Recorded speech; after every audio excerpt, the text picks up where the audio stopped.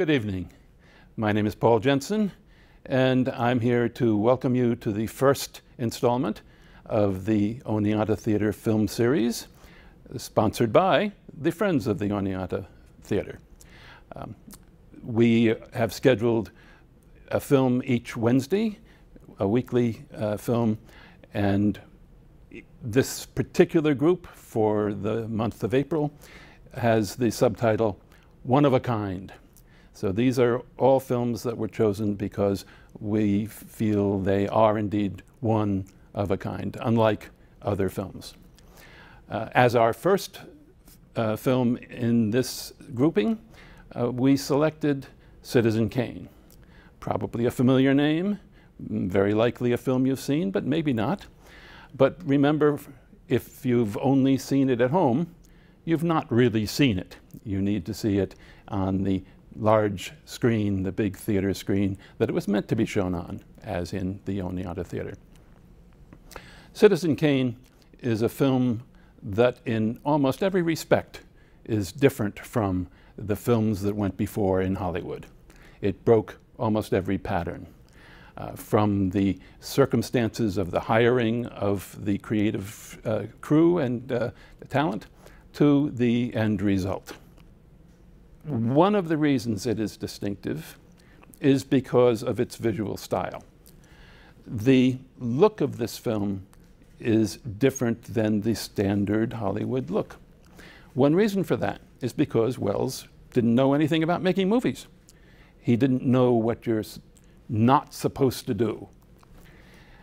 A cinematographer named Gregg Toland, who had worked for many years in Hollywood and was highly respected in Hollywood, heard about this and contacted Welles and said, I'd like to film this for you. I'd like to shoot this movie for you. Um, why, says Welles? Because you don't know what you're doing. Because you don't know enough to not ask for something. I want you to challenge me.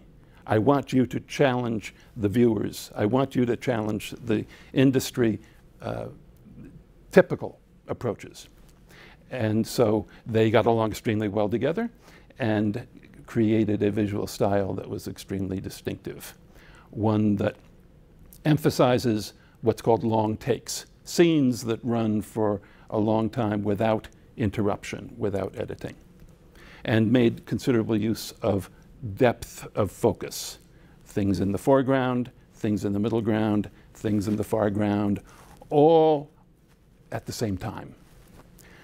When Welles had arranged for the premiere of the film in 1941, he arranged for it to open without any opening credits.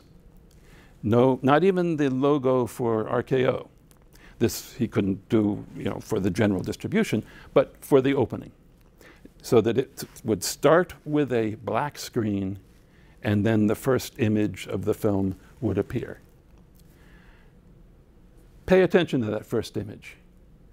It, I think it sums up the process and the challenge of all that's going to follow. A second image to think about, to notice and think about, is in one of the flashbacks of somebody's memory. The last time we ever see Kane. Make a note of the, how that's shown to us, how he's shown to us.